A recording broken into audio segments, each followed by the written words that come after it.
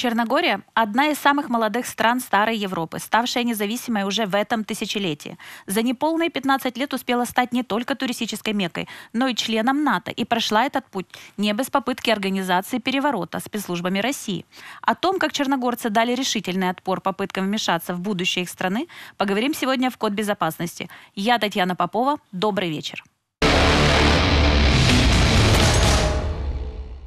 Октябрь 2016-го российские разведчики предпринимают попытку госпереворота в Черногории. Им помогают лидеры местной оппозиции и сербские националисты. В планах заговорщиков покушение на премьер-министра и свержение действующей власти. И все это, чтобы не допустить вступления страны в НАТО. Но переворот не удался. Как выяснилось позже, заложники сообщников сербы. Да и в России скрываться особо не старались. Деньги сербским националистам высылали через американский Western Union указывая в графе «Отправитель» московскую штаб-квартиру Главного разведывательного управления. Среди 20 арестованных зачинщиков, вооруженных до зубов, трое россияне. Чтобы вернуть их, Москва отрядила на Балканы главу Российского совета безопасности Патрушева. Показательно и то, что один из вербовщиков заговора, скрываясь от правосудия, получил убежище в России. За судебным процессом над арестованными пристально следила вся Европа. 14 человек были приговорены к различным срокам заключения и самые строгие наказания, правда заочно, были присуждены двум российским сотрудникам ГРУ Владимиру Попову и Эдуарду Шишмакову. За терроризм и создание преступной организации они получили заочно 12 и 15 лет тюрьмы. Спустя полгода после того, как их планы были сорваны, Черногория таки стала полноправным членом НАТО. Но на последних выборах в парламент Черногории среди победителей оказалась пророссийски настроенная оппозиция. Ее радикальные представители обещали отменить членство Черногории в НАТО, отозвать ее признание Косово и отказаться от санкций против России. Безопасность для нас прежде всего, поэтому сегодня все собеседники с нами онлайн. И это журналистка Наталья Ищенко, редактор портала «Балканский обозреватель», заместитель директора Института мировой политики, Милан Йованович, старший научный сотрудник Черногорского центра цифровой криминалистики, и с нами на связи из Косово Флориан Кехая, руководитель Центра исследований в области безопасности. Здравствуйте. Первый вопрос Наталье.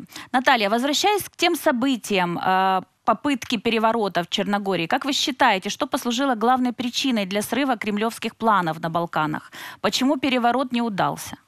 Вы знаете, у меня есть определенная теория, и я бы хотела ее предложить в качестве именно собственной теории. Она не совсем серьезная, но я думаю, что она имеет какую-то почву под собой.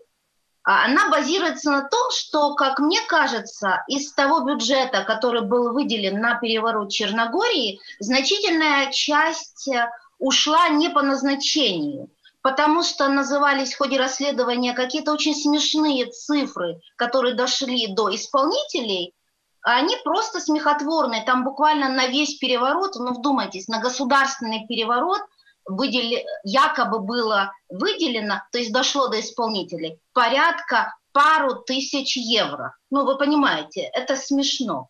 И мне кажется, что именно то, что а, на всех этапах все участники как коррупция, коррупция их сгубила, скажем так, в этом перевороте. Ну, вы знаете, а... это не то, что коррупция, а просто вот в процессе, так сказать, э, деньги ушли не по назначению. Поэтому в результате исполнителей было очень мало, они были не настолько квалифицированы в плане организации государственного переворота, если вообще можно говорить о квалификации в этом направлении. И в конце концов все закончилось какими-то э, буквально несколькими людьми, которые решили буквально сымитировать государственный переворот, а не столько его реализовать.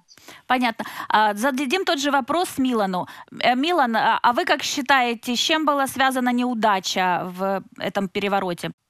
Well, Добрый день. Прежде всего, мне бы хотелось поблагодарить вас за приглашение на программу. Если говорить об отношениях Черногории и России, это весьма непростая история. Не особо вдаваясь в детали, а делая выводы лишь на основании общеизвестных фактов, я бы сказал, что первой причиной провала этого переворота стал его изначально небрежный сценарий. Это и есть основная причина неудачи Кремля. Не секрет, что влияние Москвы на Черногорию имеет долгую историю и весьма глубокие корни, и этот фактор справедливо вызывает на Западе наибольшее беспокойство. Черногорцы, как и русские, имеют общее славянское происхождение, и их языки чрезвычайно сходны. Большинство черногорцев, как и подавляющее большинство россиян, принадлежат к православной христианской традиции.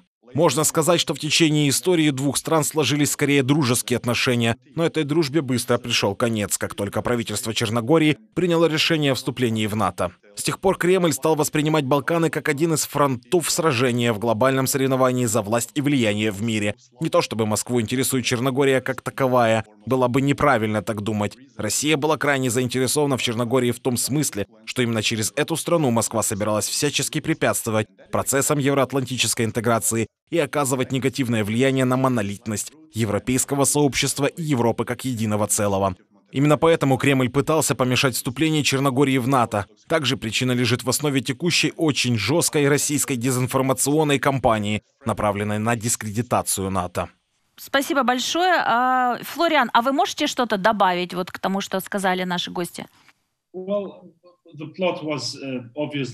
Заговор с целью свержения правительства в последние годы служит одним из основных инструментов, которые Россия пытается применять на Балканах. В этой связи нужно вспомнить активизацию пророссийского элемента в парламенте Северной Македонии накануне ее вступления в НАТО, а также массированную дезинформационную кампанию в Черногории, которая, к счастью, обернулась неудачей из-за достаточной прочности парламента, который с честью выстоял перед этой опасностью. Эта спецоперация провалилась еще и потому, что к ее исполнению привлекли людей извне, использовав фигуры, которые не принадлежали ни к одной из балканских политических элит. Например, в качестве одной из ключевых фигур в готовившемся госперевороте в Черногории ставку сделали на бывшего главу жандармерии МВД Сербии. Но самым важным фактором успеха в предотвращении переворота послужила, конечно, серьезная работа разведки. Предположительно, план захвата власти был вовремя перехвачен. Относительно Косово нам также известно, что некоторые элементы, готовившиеся к переброске из Косово в Черногорию, также были перехвачены, прежде чем приняли участие в готовившемся перевороте. Так что, к счастью, у них ничего не вышло с организацией этого переворота. Но, как мы уже сказали, такой государственный переворот с целью смены власти в стране — это лишь один из инструментов в арсенале Кремля. Как совершенно правильно заметил Милан, цель России на Балканах не просто служить антагонистом и альтернативой Запада, но и обрести влияние в этом регионе. Хотя возникают большие сомнения по поводу того, что именно Россия с учетом ее положения может предложить Балканскому региону, кроме вооружений, а именно поставок оружия Сербии. Что они нам могут предложить в плане экономики или других сферах. Взять, к примеру, Китай мы можем сравнивать, поскольку роль Китая в регионе в последнее время значительно усилилась. Китай может предложить Балканам интересные проекты, как в военной сфере, так и в сфере экономики, и даже в политической сфере. У России же цель одна, и она неизменно — блокировать дальнейшее расширение НАТО, не получилось помешать вступлению в альянс Черногории и Северной Македонии, они переключились на другие страны и теперь успешно вставляют палки в колеса Боснии и Герцеговине, а также Косово в их продвижении к членству в НАТО. В то же время я бы хотела отметить, что из 4200 предприятий в Черногории треть принадлежит россиянам, и там достаточно высокий процент граждан России живет в стране. А вот как с этим влиянием быть через бизнес? Когда э, переворот, была попытка переворота в Черногории, то граждане России, которые живут в Черногории и имеют там либо бизнес, либо недвижимость, они подпис... написали открытое письмо, и где попросили Россию не вмешиваться в дела Черногории. То есть был такой факт, и одним из подписантов, инициаторов этого письма был известный российский политтехнолог Марат Гельман, который живет и работает уже несколько лет в Черногории. То есть ну, это да, очень... Человек такой... сбежал из России для того, чтобы Россия опять его да. захватила. Его позиция достаточно да. понятна, но это же все равно не все предприятия. Well, что ж, после того, как Черногория в 2006 году обрела независимость, произошел значительный приток российских инвестиций в нашу страну. Очень многие российские бизнесмены приобрели недвижимость Черногории. Даже сегодня Россия остается среди самых крупных инвесторов в Черногории. Она сохраняла лидирующие позиции среди других стран. Однако в последнее время этот тренд стал меняться. За последние 3-4 года россияне начали продавать свою недвижимость Черногории, и теперь турецкие бизнесмены и турецкие граждане активно покупают недвижимость и явно потеснили россиян в этой сфере. Теперь среди всех иностранцев именно они являются крупнейшими владельцами недвижимости и различных бизнесов в Черногории. Что еще интересно отметить, говоря о российском влиянии в Черногории, это их роль в такой сфере, как туризм. К тому времени, как Черногория стала членом НАТО, Россия при пособничестве Сербии начала вести резко негативную кампанию против Черногории. Нужно сказать, что четверть ВВП Черногории приходится на туристическую индустрию. Поэтому самый удобный способ навредить Черногории – это ударить по ее туристической отрасли.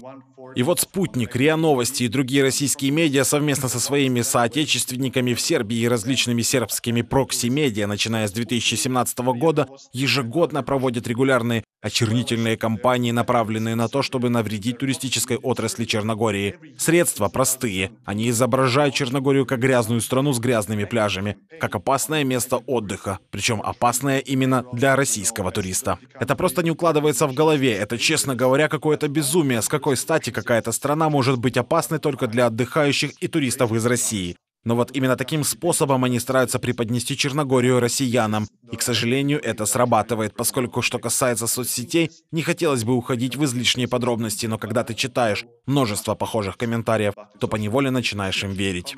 Когда на людей льются потоки информации, неважно, насколько она правдива, когда ты просто заваливаешь их информацией, то, конечно же, они так или иначе начинают тебе верить.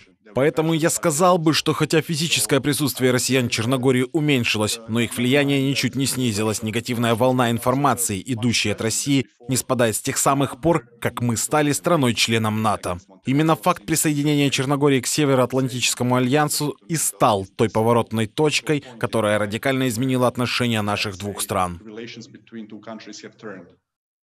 Лариан, вопрос к вам. А как вы считаете, насколько пришедший к власти сегодня а, парламентарии а, из оппозиции на самом деле лояльны в Москве? И видит ли НАТО в этом какие-то препятствия для воплощения своих планов на Балканах? Да, действительно, насколько мне известно, заявления Черногории не могли не вызывать некую тревогу. В Черногории есть некоторые политические силы, которые могут время от времени делать проблемные заявления. Например, о том, что Черногория может инициировать процесс выхода из НАТО. Но подобные высказывания нивелируются заявлениями нового правительства, которое выразило четкую приверженность Черногории своим международным обязательствам. Так что с точки зрения намерений мы видим серьезную позицию новоизбранного правительства Черногории. Но по моему мнению, стране все-таки нужны некоторые перемены. С другой стороны, есть некоторые признаки того, что российский элемент может использовать существующее правительство Черногории для своих небольших провокаций, пусть не стратегических, как резкая смена курса относительно НАТО, поскольку это все-таки сложная в реализации цель, но каких-то более мелких пакостей в сотрудничестве с сербскими и российскими радикальными элементами на Балканах. А в нашем регионе многое не нужно, чтобы разжечь пламя. Одной искры будет достаточно. Одна острая тема, какой-то животрепещущий вопрос могут легко сыграть роль последней капли, которая приведет к конфликту на Балканах в целом. Разыгрывая эту карту, Кремль может воспользоваться преимуществом и начать новую дезинформационную кампанию или предпринять какие-либо вредительские действия, направленные на то, чтобы разрушить и нивелировать все достижения и тот вклад, который Запад уже внес в развитие Балканского региона за последние 20 лет. Таким образом, многолетние инвестиции в регион подвергаются большой опасности. С другой стороны, Европейский Союз и Запад в целом, конечно же, остаются крупнейшими инвесторами стран Балтийского региона, будь то Черногория или любое другое балканское государство. Совершенно очевидно, что в экономическом смысле России нечего противопоставить влиянию Евросоюза, чтобы составить ему хоть какую-то серьезную конкуренцию в этой области. Спросите жителей Балкан, даже самых радикально настроенных из них, где бы они предпочли работать, абсолютно никто из них не выскажется в пользу России. Никто не едет работать туда, практически все отдают предпочтение западным странам. Наталья, а вы какого мнения? А насколько действительно близка к России оппозиционная сегодня а, часть парламента? Черногории? Знаете, я наблюдаю последние буквально недели и дни с тех пор, как закончились выборы, борьбу уже поствыборную, когда коалицию на самом деле очень просербскую и достаточно пророссийскую, ее пытаются переформатировать все-таки в более прозападную. И я могу сказать, что на сегодня, вот именно на сегодня, этот процесс более-менее удался. Сегодня как раз премьер-министр э, Черногории, новый уже, первый свой визит осуществил в Брюссель. Он сегодня встречается с руководством Евросоюза и НАТО, и таким образом он задекларировал именно про западный путь своей страны. Там были очень большие внутренние разбирательства по поводу того, кто возглавит э, э, министерства силовые и Министерство иностранных дел. И там, насколько понятно по их заявлениям и вообще по комментариям, это, э, эти направления возглавили люди достаточно прозападные. Буквально на днях руководитель МИДа Черногорского заявил, что санкции с России они снимать не будут, хотя они хотят дружить с Россией, но санкции остаются, потому что Черногория хочет двигаться к Европе, и она должна считаться с позиции Европейского Союза по этому поводу. При этом в начале, когда только закончились выборы, нынешний премьер говорил, что первое, что они делают, сделают, что они снимут санкции с России. Тем не менее, сейчас уже пошел откат. Насколько я понимаю, все-таки страну НАТО никто не хотел и не хочет отдать, буквально опустить руки и сказать, все, выборы такие прошли, уже что будет, что будет. Продолжается работа, и на данный момент все-таки я вижу, что Черногория остается на пути э, проевропейском, то есть она кандидат номер один на вступление ЕС, она точно продолжит работать с НАТО, и никаких резких движений, как снятие санкций с России или отзыв признания Косово на повестке дня не стоит. Э, скажите, пожалуйста, Милан, вопрос к Милану сейчас. А вы, э, насколько вы знаете о тенденциях э, в Черногории? Нет ли такого, что часть населения сожалеет о вступлении в НАТО? Uh, yes, well, на самом деле все зависит от того, кто именно проводит такие опросы и как происходит голосование. Дело в том, что решение о присоединении Черногории к НАТО было принято парламентом. За него проголосовали депутаты. Потому что если бы на то время решение зависело от воли народа, то черногорцы определенно проголосовали бы против вступления в НАТО. Почему? По той простой причине, что Россия с помощью своих медиа очень удачно сыграла на эмоциях наших граждан. Как известно, в 1999 году НАТО проводило в Югославии военную операцию, в рамках которой происходили бомбежки в Черногории. Это послужило прекрасным поводом для внедрения в черногорское общество крайне негативного нарратива о злом НАТО, которое уничтожает мирных черногорцев. К сожалению, никто не позаботился о том, чтобы представить людям более общую картину и объяснить, почему так произошло и что послужило причиной военной операции НАТО. Если говорить о цифрах, то с 2017 года по 2020 год мы наблюдаем рост поддержки НАТО среди населения. На сегодняшний день членство в Альянсе поддерживает более половины черногорцев. Количество противников НАТО составляет от 40% до примерно двух третей жителей Черногории. Но эти показатели колеблются в зависимости от того, какой организацией проводится опрос и кто в нем участвует. Мне также хотелось бы добавить несколько слов к сказанному Флорианом. Несмотря на то, что Европейский Союз действительно является крупнейшим инвестором в Черногории, если вы спросите мнение черногорцев или сербов по этому вопросу, то услышите в ответ, что главные вложения в Черногорию делаются либо Россией, либо Китаем. Такое неведение или непонимание ситуации происходит от недостатка стратегической коммуникации со стороны Европейского Союза. Например, с начала пандемии ковида Евросоюз оказывал и продолжает оказывать просто колоссальную помощь как Сербии, так и Черногории. Но в прошлом месяце проводился один опрос по этому поводу, и казалось, что люди все равно считают, что их главными благотворителями являются Россия и Китай. И поскольку такое видение очень далеко от истины, нужно спросить себя, почему так получается. Поэтому я и подчеркиваю, что со стороны Европейского Союза недостает стратегической коммуникации, в то время как через российские СМИ, китайские медиа и их балканские прокси в Сербии и частично в Черногории прокачивается невероятное количество пропаганды. Вопрос к вам троим сейчас. Получается, можно сказать, что планы по госперевороту, которые планировала Россия в 2016 сейчас реализовалось там в результате э, голосования на парламентских выборах? Uh, Думаю, по сравнению с 2016 годом этот потенциал только вырос, поскольку в итоге в Черногории сформировалось правительство, в котором более заметными стали пророссийские настроения и даже радикальный элемент. Хочу подчеркнуть, что пророссийскую направленность, очевидно, демонстрирует часть парламента Черногории, но не члены правительства. С другой стороны, есть опасения, что эти пророссийские элементы станут постепенно просачиваться в структуры безопасности и разведку. Результатом такого проникновения может стать то, что Черногория окажется в числе уязвимых стран, открытых для прямого влияния российских спецслужб. Я не говорю, что раньше такого влияния не существовало. В той или иной степени оно присутствовало всегда. Но теперь можно ожидать от России какого угодно шага, поскольку Кремль не перестанет преследовать своей единственной цели в регионе – срыву евроатлантической и трансатлантической интеграции балканских государств в целом. Хотелось бы также обратить внимание на такой важный фактор, как смена президентской администрации в Соединенных Штатах Америки. В целом для Балкан приход Байдена к власти – хорошая новость. Но, на мой взгляд, в то же время этот фактор способен активизировать российское присутствие на Балканах. Мне кажется, в стремлении навредить региону Кремль может спланировать новую попытку государственного переворота в какой-либо из балканских стран, чтобы в случае успеха получить дополнительный козырь для торга с новой американской администрацией по сербскому или боснийскому вопросу. Поскольку мы вот с вами сейчас обсуждаем Черногорию, но Черногория является полноправным членом НАТО, а есть страны горячие точки Балкан, которые чрезвычайно уязвимы в плане поверженности российскому влиянию. Это касается как Боснии и Герцеговины, так и Косово. Я убежден, что НАТО следует оставаться сверхбдительными относительно активности России на Балканском полуострове, чтобы вовремя остановить любые деструктивные действия Кремля. Я хочу вернуться к первому вопросу, который вы мне задавали, относительно того, почему переворот не удался. Я ответила так не очень серьезно, но если говорить уже до конца серьезно, то он в первую очередь не удался потому, что Черногория на тот момент уже была готова к вступлению в НАТО по какому вопросу?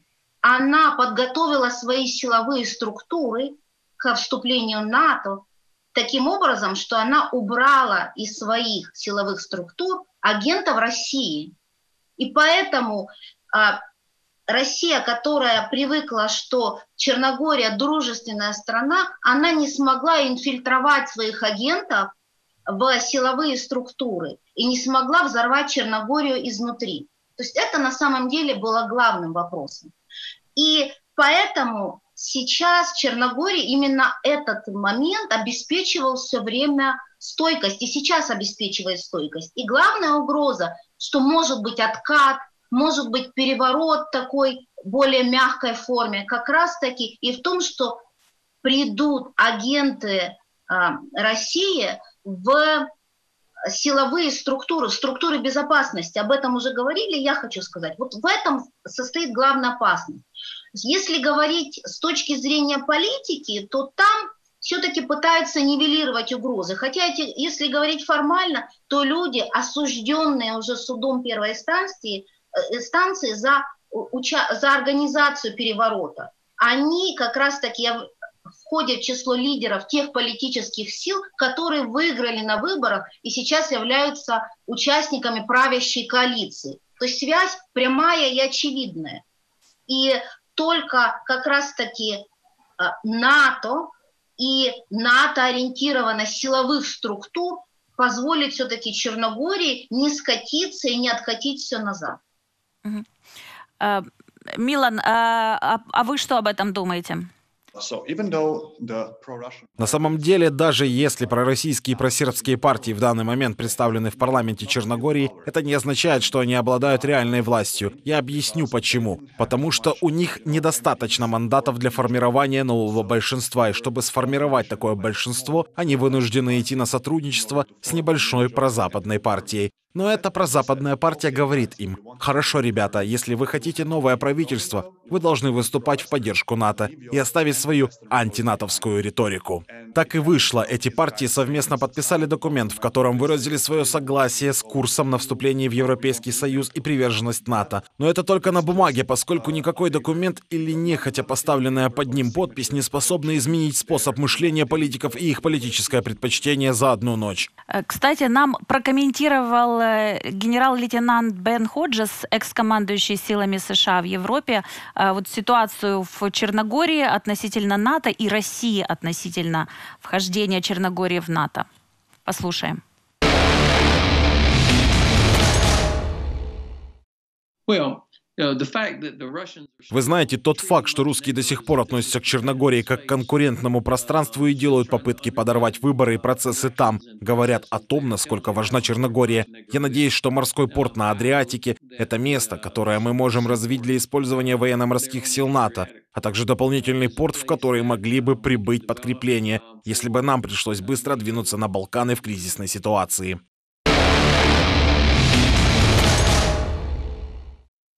И вот вопрос, выплывающий с этого комментария Бена Ходжеса. Милан и Флориан, к вам. Какие, на ваш взгляд, перспективы у размещения базы НАТО в Черногории на территории самого молодого члена Альянса? И как это может повлиять на обстановку в регионе? Укрепить систему безопасности или, наоборот, будет взрывать безопасность? Нужно отметить, что уже сам статус члена НАТО, предоставленный Черногории, добавляет единства и безопасности всему региону. Думаю, очень важно, чтобы в ближайшее время, несколько лет, остальные западно-балканские страны вошли в состав НАТО, и ваша страна также присоединилась к Альянсу. Потому что Западные Балканы — это сердце Европы, и от стабильности в этом регионе зависит стабильность не только самих Балкан, но и целой Европы. НАТО по своей сути означает стабильность, безопасность и мир, и сам факт членства в Альянсе уже значит, что автоматически все военно-морские базы в Черногории становятся базами НАТО, что, естественно, также приносит мир и безопасность региону, и никак не иначе. Второй момент, который нужно подчеркнуть и который Россия хотела бы представить как негативный аргумент, что они делают вот уже на протяжении нескольких последних лет, что членство в НАТО якобы не несет никакой выгоды присоединившимся странам и их армиям. Что будто бы от членства в НАТО они не получают ничего, что, конечно же, является неправдой. Приводится еще и такой аргумент, якобы базы НАТО в Черногории будут использоваться для контроля армии самой же Черногории и ее населения, что якобы нас просто не ставят в известность о таких планах НАТО относительно нашей страны. И вот такой дезинформации возникает великое множество, плодятся разные истории, основанные на неправде или полуправде, затем они распространяются в разных медиа, муссируются в прессе разных стран и циркулируют по региону. Распространение такого рода дезинформации облегчается еще и тем, что наши языки очень схожи, и мы легко понимаем друг друга, и это огромная проблема. Что касается баз НАТО в Черногории, то у нас есть порт-бар, в котором размещается одна из крупнейших военно-морских баз на Адриатическом море. Так вот, в 2013 или 2014 году, я точно не помню, к нам обратился министр иностранных дел России с запросом на разрешение пользоваться этой базой российским военным кораблям. Черногория ответила «нет». И сразу после этого отказа россиянам наша страна сначала подготовку к процессу присоединения к НАТО. Думаю, в Альянсе оценили значимость Черногории, исходя из ее географического положения и объектов в морской инфраструктуре на Адриатике. НАТО хотела видеть Черногорию частью Альянса из-за того значительного вклада в военно-морское присутствие в этом регионе, которое может обеспечить наша страна. Uh, Думаю, речь идет о так называемом смарт-походе к безопасности, который в последнее время применяет НАТО. Он состоит в том, что различные страны-члены Альянса по отдельности рассматривают и анализируют различные сегменты НАТО и затем сводят информацию в рамках единого стратком-центра. Насколько мне известно, такие центры занимаются сбором и анализом специализированной информации, важной не только в военном аспекте. В любом случае их сфера деятельности касается того, что называется soft power и лежит в сфере коммуникаций, а в современных условиях применение мягкой силы приобретает даже большее значение, чем просто создание новых военных баз. Как мне кажется, мягкая сила или soft power — это и есть инструмент, которым НАТО следует задействовать чаще, чем сугубо военные средства. Что касается военных баз НАТО, то можно напомнить, что в данный момент ведется строительство новой военной базы в центральной части Албании. Это абсолютно новая база воздушных сил НАТО в Кучеве, центральной Албании. Если говорить о базах, то примерно напротив, через Адриатику, расположена мощная военная база НАТО в Неаполе. Таким образом, можно предположить, что Альянс строит некий мост, связывающий базы в единый хаб командования ВВС НАТО в Средиземноморье. В связи с этим я не думаю, что на Балканах нам нужно наращивать военное присутствие.